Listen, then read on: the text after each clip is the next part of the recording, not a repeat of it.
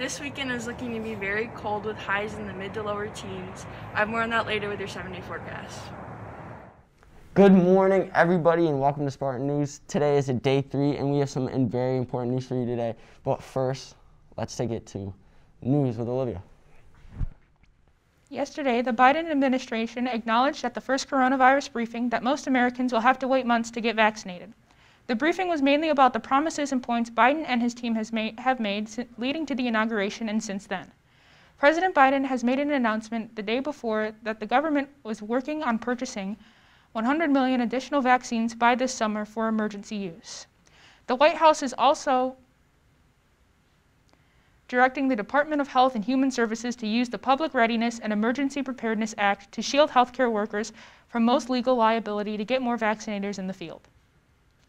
Since the start of January, GameStop stock has sur- surged over 1,700% due to the efforts of a band of mostly young day traders from the Reddit page Wall Street Bets, who work together to drive up the shares, share price of struggling companies.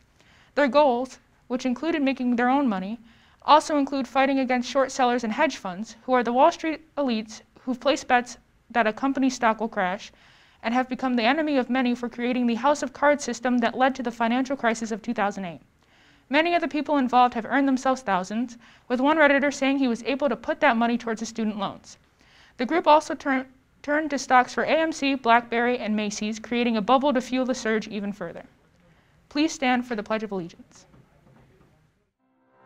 I pledge allegiance to the flag of the United States of America and to the republic for which it stands, one nation under God, indivisible, with liberty and justice for all. So, if uh, you are a, a, big soccer fan, there's a lot of news going on in the English Premier League. So, first of all, yesterday, uh, if you're a supporter of Manchester United, I'm very, very sorry for you. Sadly, you guys took a big loss after being first in the Premier League for you know a couple weeks now to Sheffield United, who is probably going to get relegated this year, two to one. Uh, it was very hard to watch. What a shame. I feel bad for all you United supporters.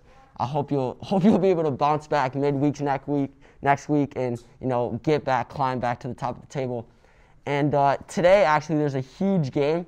Tottenham Hotspurs, which a team I support, versus uh, the Liverpool Reds.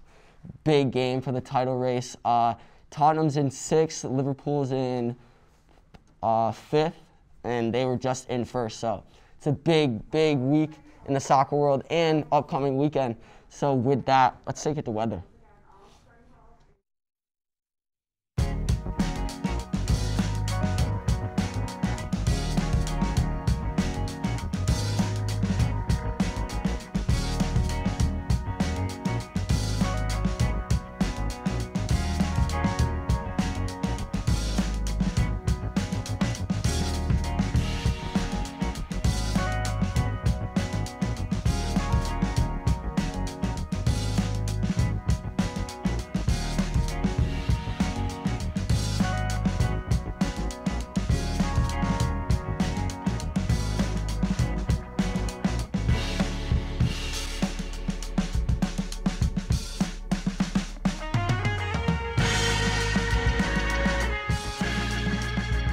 Today we will have a high of 20 with some lake flurries.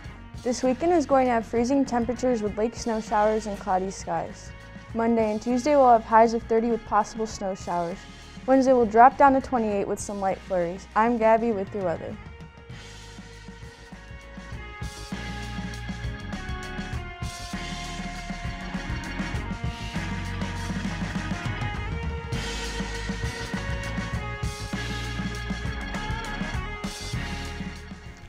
Some more news actually. Uh, the Chelsea Blues, about two days ago, they fired their head coach, Frank Lampard, who is a club legend. He's played there almost his whole career. And uh, they uh, hired the head coach of Paris Saint Germain, PSG, Thomas Tuchel, looking to turn their year around.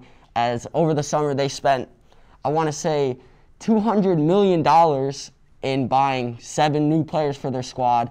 Uh, it hasn't really made a difference, hasn't really made an impact for their team, you know, but that's how kind of all, when you gather a lot of good players, it may take a while for them to, you know, start get it going. But they're, hoping to turn their season around with Thomas Tuchel. uh, get them back into Champions League or at least the Europa League position to play in next year, considering they're in uh, eighth place right now, or I want to say ninth place. So with that, we're going to take it with more sports with Daniel.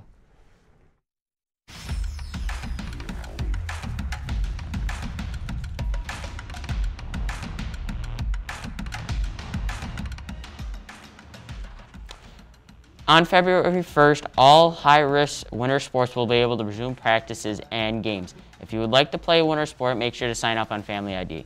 Last night in the NBA, the Philadelphia 76ers beat the Los Angeles Lakers 107 to 106.